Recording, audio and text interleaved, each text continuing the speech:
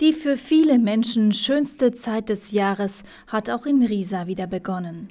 Am vergangenen Freitag wurde nach der Premiere im vergangenen Jahr hinter dem Rathaus wieder die Klosterweihnacht eröffnet. Der kleine Markt präsentiert sich mit gemütlichem Flair und buntem Programm noch bis einschließlich 15. Dezember. Die Eröffnung um 17 Uhr erfolgte durch Oberbürgermeisterin Gerti Töpfer und die Turmbläser. Außerdem wurde traditionell der Riesenstollen angeschnitten.